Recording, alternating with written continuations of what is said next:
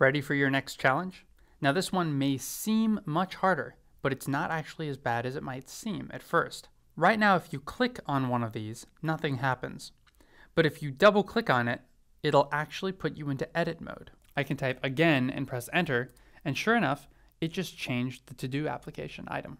But that's not very intuitive, so let's add an edit button that shows up next to the delete button. You'll notice when you hover over one of these, you also get a delete button that pops up. If I type some nonsense in here and I press enter, sure enough, I can roll over and press the X button and it'll go away forever. Now we want to add an edit button just like this X button here, just right next to it instead. So there will be an X button and an edit button. Now I did a little bit of work for you.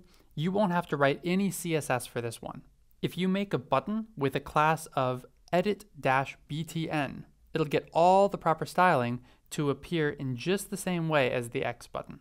Now your job is to figure out where to put the button code, the actual button, physical button, and how to wire up that button so when you click on it, it edits the note.